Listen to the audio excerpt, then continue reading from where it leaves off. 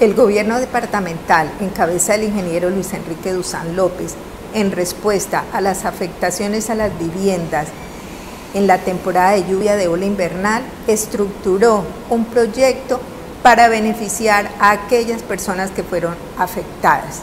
Es importante contarles que ya estamos en la entrega a cada uno de los beneficiarios de las intervenciones que se hicieron en el marco de esta temporada de lluvias.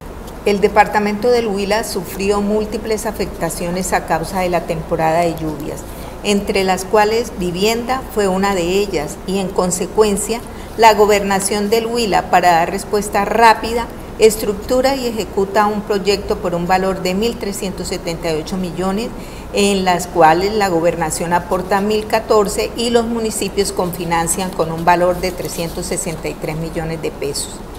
Estamos ya en el proceso de entrega a los beneficiarios de las intervenciones de las rehabilitaciones en las viviendas del proyecto que tiene como objeto principal promover el derecho a vivienda digna mediante la rehabilitación de aquellas viviendas que fueron afectadas por la temporada de lluvias de la primera ola invernal.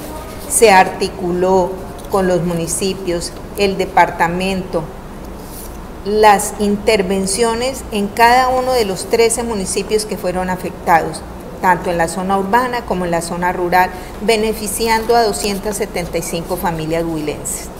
Los 13 municipios beneficiados con este proyecto son Baraya, Campo Alegre, Obo, Isnos, La Plata, Nátaga, Oporapa, Palermo, Palestina, Pitalito, Santa María, Tarquitello. Se realizaron los diagnósticos en cada una de las viviendas y como resultado de los diagnósticos dieron las diferentes intervenciones que se realizaron, saneamiento básico, cubiertas, acabados.